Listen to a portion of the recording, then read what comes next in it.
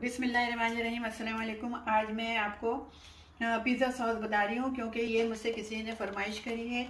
तो मैंने सोचा, चलो ताज़ा बना के मैं दिखाती हूँ। और हमारे घर में भी ये फिनिश हो चुका था पिज़्ज़ा सॉस तो हमको भी ज़रूरत थी पिज़्ज़ा बनाने के लिए। तो इसलिए मैंने सोचा कि चलो बना भी लेती हूँ और आप लोगों के साथ शेयर भी कर लेती हूँ मैं इसको। तो मैंने तीन अदर, सिर्फ़ इतना बनाए सॉस के मतलब दो पिज़्ज़ा में या तीन में ख़त्म हो जाए। वो ज़्यादा मतलब अरसे तक मत रखें उसको। रह तो सकता है फ्रिज में मौसम अच्छा है, रह सकता है, लेकिन ताज़ी चीज़ अच्छी होती है। तो ये मैंने तीन टमाटर लिए हैं, ये एक छोटी सी ऑनियन लिए, प्याज लिए और ये चार लहसुन लिए।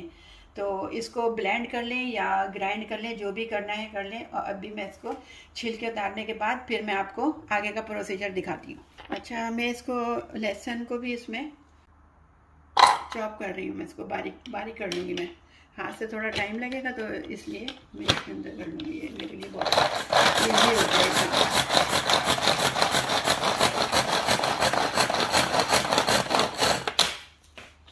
ये देखिए कितना बारीक हो गया। बस इतना ही चाहिए था मुझे।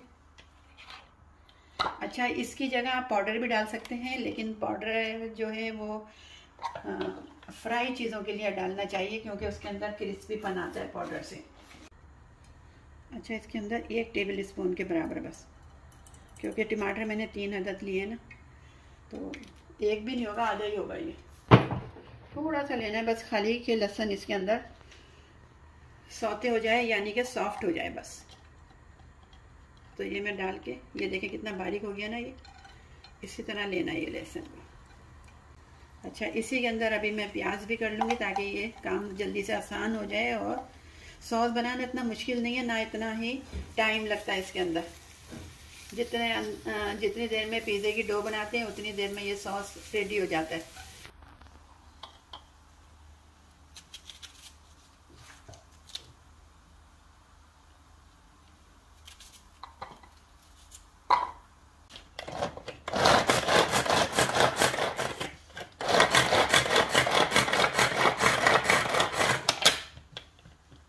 दो तीन दफ़ा करना पड़ता है ये देखिए, कितनी बारीक हो गई। तो मैं इसका एडवर्टाइज नहीं कर रही, मैं इसमें बता रही हूँ कि ये काम आसान काम आसान करें अपने लिए।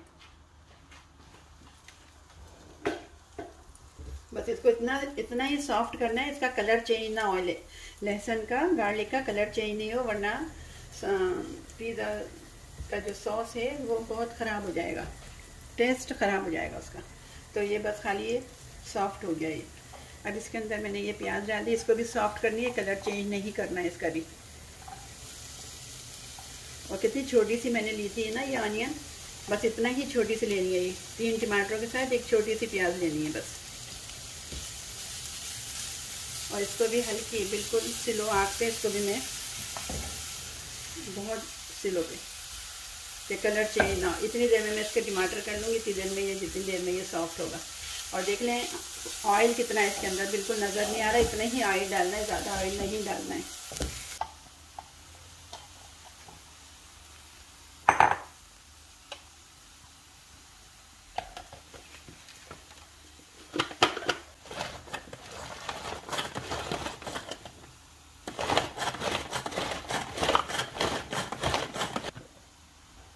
बस इतना ही करना है इसको भी।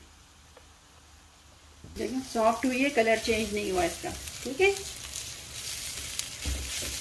तो इतना ही इसको सॉफ्ट करना है बस। अब ये बाकी का ये टमाटर के साथ हो जाएगा। अच्छा इसको टमाटरों को भी मैंने थोड़े थोड़े इसके अंदर चंक रखे हैं। अगर आपका नहीं है तो पूरा का पूरा इसको अंदर, पूरा इसको ब्लेंड कर लें। तो अभी इसको, इसके अंदर अब जो मसाले डालने वो भी साथ ही डालने क्योंकि ये गोश्त तो है नहीं जो गलेगा, ये इतनी जल्दी से बन जाता है। मैं इसके अंदर ये बिल्कुल एक पिंच के बराबर एक चुटकी के बराबर रेड चिल्ली पाउडर डाल रही हूँ ये। और अगर आपको ज़्यादा डालना है और इसका सब्सिट्यूट अगर चिल्ली फ्लेक्स डाल सकते हैं कुटी हुई मिर्चें तो इसके आ, इसके बदले वो भी डाल सकते हैं। और इधर मैं ले रही हूँ ये कश्मीरी मिर्च एक टीस्पून के बराबर कश्मीरी मिर्च। ये सिर्फ़ कलर के लिए और टेस्ट के लिए लिए मैंने। इससे टेस्ट बहुत अच्छा होगा कलर भी अच्छा होगा। अच्छा मैंने अदरक नहीं डाली थी क्योंकि उसको कितना भी गला लूँ मैं, वो नहीं गलेगी। तो इसलिए मैं अदरक का सिर्फ़ एक पिंच इसमें डाल रही हूँ मैं। इसका फ्लेवर बहुत अच्छा होता है और ये बहुत ज़बरदस्त। तो ये आपकी मर्ज़ी है कि आप डालें, नहीं डालें। इसके बाद ये नमक है। नमक भी इसमें थोड़ा सा ये one four teaspoon one four half नहीं हाफ़ बहुत ज़्यादा हो जाएगा दो, तीन टमाटरों के अंदर। और आखिर में इसमें ये आरिगेनो डालें या रोज़मेरी डालें, जो भी आपके पास अवेलेबल है, आप वो डाल सकते हैं। तो ये भी मैं हाफ़ टी स्पून के बराबर ही डालूँगी। बस। और अब इसको मिक्स करके और इसको कितनी जल्दी बन गया ये मिक्स करके और इसको दम पे छोड़ दूँगी। टोमेटो केचप है तो ये एक टेबल स्पून इसमें ये डाल दें। अच्छा अगर ये नहीं है आपके पास तो इसका नेमुल बदल सब्सिट्यूट इसका रिप्लेसमेंट क्या है कि एक टेबल स्पून इसके अंदर सिरका डाल दें वाइट वेनिगर और आधा टी स्पून इसके अंदर चीनी डाल दें। तो ये ज़बरदस्त वही टेस्ट आएगा। तो मैंने कहा, जब ये है कैचअप तो मैं कैचअप भी डाल देती हूँ। तो अगर आपके पास है तो डालें, क्योंकि इससे जो होता है, इसका टेस्ट बहुत इन्हेंस हो जाता है ये। अच्छा ये गल जाएँगे अभी टमाटर। और गलने के बाद फिर मैं इसकी आपको फाइनल लुक दिखाती हूँ। पिज़्ज़ा सॉस तैयार हो चुका है और बहुत ज़बरदस्त इसकी खुशबू। बहुत अच्छी आ रही है क्योंकि इसके अंदर जो मैंने ऑरिगेनो डाला है, उससे इसका टेस्ट बहुत ज़बरदस्त हो गया है और आप बहुत आसान है। बस इसको थोड़ा सा गलाना पड़ता है, जो इसको स्मूथनेस लेकर आता है। बस ये स्मूथ करने के लिए इसको थोड़ा सा मैंने टाइम लगाया इतना गाढ़ा है, लेकिन ये अभी और ठीक हो जाएगा, ठंडा होगा तो ये और हो जाएगा ये। तो इसलिए मैंने इसको बस अभी इसी कंडीशन में मैंने इसको निकाल लिया है फ्लेम बंद कर दिया है। इसका टेस्ट बहुत ज़बरदस्त है, आप इसी तरह फॉलो करें। इसको रख सकते हैं आराम से एक महीने तक ये रहेगा। तो ये चार पाँच पीज़ों पे आराम से लगेगा ये। ये जो सॉस अभी बनाया है मैंने, अब इसके साथ मैं बता रही हूँ कि बच्चों को कैसे खुश कर सकते हैं, छोटे बच्चों को ना। और जो स्कूल जा रहे हैं उनको कैसे टिफ़िन में ये दें। तो रेडीमेड ये, तो मतलब आपने बना के रख लिया है फ़ौरन। तो जल्दी से ब्रेड के पीस निकालें। इसको इतना खूबसूरत सा शेप दें ताकि बच्चे भी खुश हो जाएँ ये। ये इस तरह।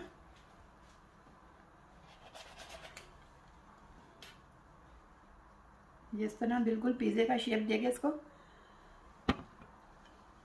और इसको भी वेस्ट नहीं करें इसके ब्रेड क्रम्स बना लें इसको। ये गोल हो गई है। इसको बहुत जल्दी से झटपट से हो जाएगा। और पिज़्ज़े में इतनी सारी हमने वो मिर्चें नहीं डाली थी तो इसलिए सबसे पहले इसको हल्का हल्का सा बच्चों के जैसा बच्चे पसंद करें ना, इसको इतना। बिल्कुल, लाइट लाइट सा। तो ये बहुत ज़बरदस्त है, ये मतलब लगा के रख लें और ये ज़रूरी नहीं है कि ये बच्चों को टिफ़िन में दें, बड़े भी ब्रेकफास्ट में ले सकते हैं ये। अगर ये चीज़, ये डालनी है तो ये डाल चेडर भी डाल सकते हैं मोजरेला भी डाल सकते हैं, लेकिन बच्चों को ये चीज़ें ज़्यादा पसंद है तो इसलिए बच्चों के हिसाब से ही बनाएँ। ये इसके ऊपर रख दिया।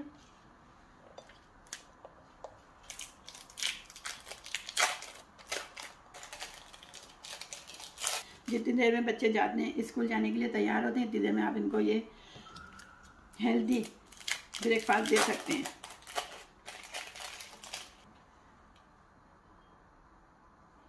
मैं तो जल्दी जल्दी कर रही हूँ। देखें इस पर रखा। इसके ऊपर बच्चों को ये सॉचेस बहुत पसंद है। सब बच्चों को पसंद होते हैं ये। इस तरह। अब इसके अंदर ये मतलब इतनी प्यारी से लुक हो जाएगी कि वो खुद ही खुद ब खुद खाने को मांगेंगे ये।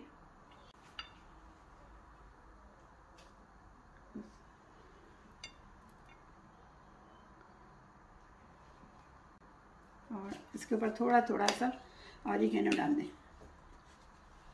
इस पर थोड़ी कम लग रही है चीज़ बस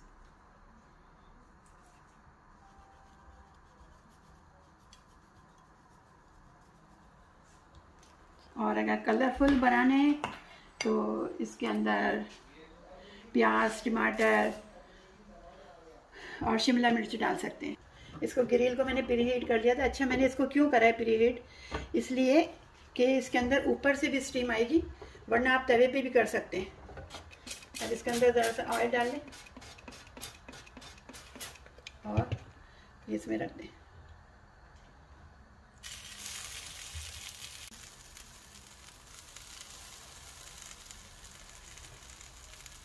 चार आ गए इसके अंदर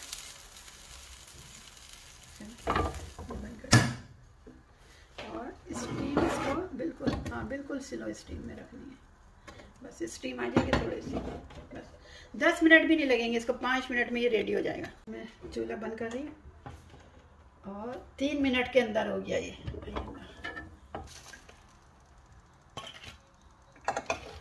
तो ये बच्चों को दें टिफ़न के अंदर। बच्चे भी खुश और आप भी खुश क्योंकि काम हल्का है।